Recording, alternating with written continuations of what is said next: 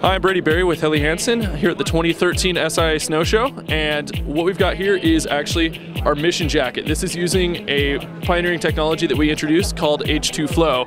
H2 Flow is actually 200 grams of Polartec fleece in the back here. And what these are, are exaggerated air cells. And they, when you create heat when you're working, it stores that excess heat in these areas. When you get too warm, open up the venting. First thing to go is that heat that's stored in there cools you off 30% more efficiently.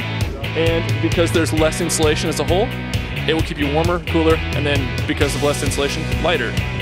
So that is all wrapped into a 20K 20K shell fabric here. So it makes it so it's a very, very versatile backcountry setup.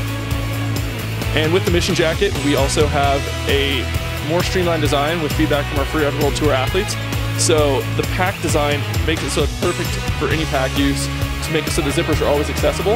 And then what we've actually done with the fit a little bit longer so that in powder, powder days it's a little bit better coverage. There's a new zip-in powder skirt method with this piece that we're pioneering on it.